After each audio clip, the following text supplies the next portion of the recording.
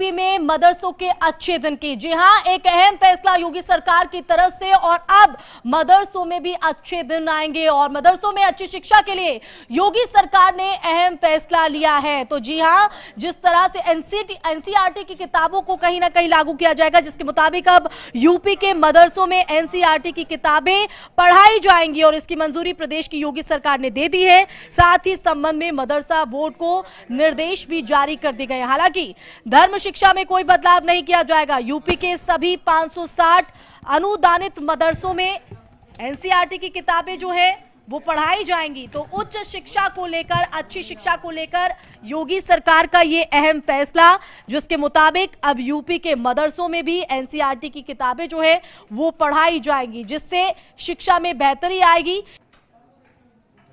तो यूपी के मदरसों में अब अच्छी शिक्षा आपको हम ग्राफिक्स के ज़रिए बता रहे हैं। अब एनसीईआरटी की किताबें जो है, वो जारी की जाएँगी। चार महीने में सिलेबस पूरा करने की चुनौती होगी। और 560 अनुदानित मदरसों में ये एनसीईआरटी की किताबें बांटी जाएँगी।